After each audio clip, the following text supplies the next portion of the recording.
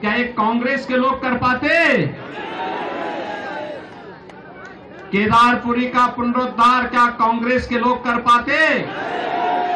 महाकाल के महान लोग का पुनरुद्धार कांग्रेस के लोग कर पाते? और क्या राम मंदिर के निर्माण का कार्य कांग्रेस कर पाते क्या?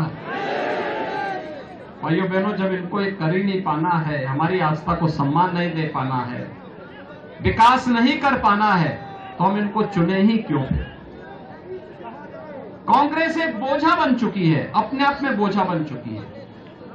देश के लिए, प्रदेश के लिए, जनता जनार्दन के लिए, एक गरीब के लिए, एक किसान के लिए, एक नौजवान के लिए माताओं और बहनों के लिए कांग्रेस एक समस्या है और इस समस्या से ही मुक्ति करने के लिए चुनाव सबसे अच्छा अवसर होता है।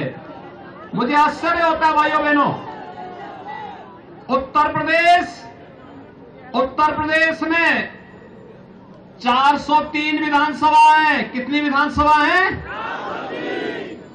25 करोड़ की आबादी में 403 विधानसभा। और कांग्रेस के कितने सदस्य हैं? दो। मात्र दो। और भाइयों बहनों भाइयों बहनों, बहुजन समाजवादी पार्टी के कितने? एक। सिंगल आदमी यानी कांग्रेस को उत्तर प्रदेश की जनता ने और इन दलों को उत्तर प्रदेश की जनता ने बहुत नज़दीक से समझा है। और मैं आज आपके पास आया हूँ, भाइयों बहनों। मध्य प्रदेश। पिछले 20 वर्षों में, अगर बीच में एक डेढ़ वर्ष के इस कालखंड को छोड़ दें, जब धोखे से कांग्रेस ने सत्ता त्यागी थी।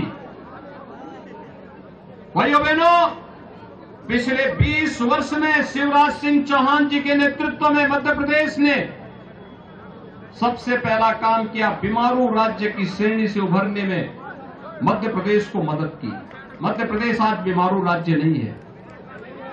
देश के अंदर कृषि विकास की दर को सर्वाधिक प्रगति के पथ पर, समृद्धि के पथ पर अग्रसर करने वाला राज्य मध्य प्रदेश है। और लाडली बहना योजना ने तो मध्य प्रदेश में कमाल कर दिया है। बेटियों का, बहनों का सम्मान